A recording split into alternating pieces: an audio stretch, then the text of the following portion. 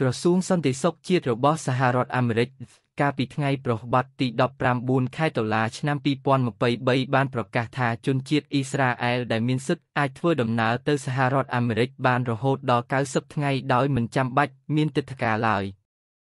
រដ្ឋបាលលោកโจ Biden បានប្រកាសកាលពីខែមុនថា ប្រទេសអ៊ីស្រាអែលនឹងចូលរួមក្នុងកម្មវិធីលើកលែងទិដ្ឋាការវោកដែលអនុញ្ញាតឲ្យអ្នកធ្វើដំណើរដែលមានសិទ្ធិដាក់ពាក្យសុំចូលសហរដ្ឋអាមេរិកដោយមិនចាំបាច់មានទិដ្ឋាការកម្មវិធីនេះត្រូវបានគេរំពឹងថានឹងទទួលពាក្យចាប់ពីថ្ងៃទី30ខែវិច្ឆិកាប៉ុន្តែការប្រកាសនេះត្រូវបានបញ្ជាក់សារជាថ្មីថាសហរដ្ឋអាមេរិកនឹងចាប់ផ្ដើមទទួលពាក្យពលរដ្ឋអ៊ីស្រាអែលលើនេះតែម្ដង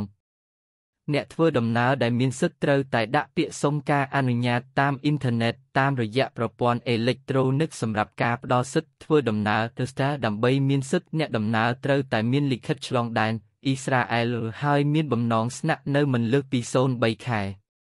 ទោះជាយ៉ាងនេះក្តីការធ្វើដំណើរតាមទិដ្ឋាការនៅតែជាជម្រើសដ៏ល្អបំផុតសម្រាប់អ្នកធ្វើដំណើរមួយចំនួនដូចជាអ្នកដែលចង់ស្នាក់នៅក្នុងសហរដ្ឋអាមេរិកលើសពី0.3ខែឬអ្នកដែលគិតថាពួកគេចង់បន្តការស្នាក់នៅឬផ្លាស់ប្តូរស្ថានភាពរបស់ពួកគេម្ដងក្នុងសហរដ្ឋអាមេរិក។